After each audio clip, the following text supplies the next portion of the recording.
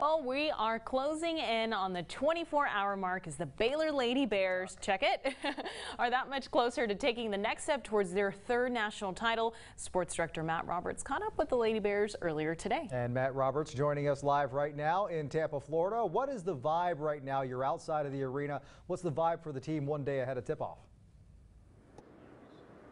Good evening, guys, and welcome live outside the Amalie Center site of the NCAA Women's Final Four. The Lady Bears getting their chance to hit the practice court earlier today. Got a chance to spend some time with them, get to get a feeling of what's going on around the team room right now. This team, they feel as relaxed as ever. Now, all season long, they've talked about taking it one game at a time, and certainly a lot of teams say that, but the proof is in the record. When you're 35 and 1, playing against a schedule where everyone's going to give you their best shots and really not having a letdown throughout that entire schedule proves everything you need to know about the Lady Bears. They do come into this game, though, with really no experience in the Final Four. Several coaches have been here, but the players have not. Coming up later in Fox 44 Sports, we'll talk about if that makes any difference to them. And of course, we'll talk about the run up to the tip off against Oregon tomorrow night coming up at 6 as well as 9.30. But until then, let's go and send it back to you guys in the studio.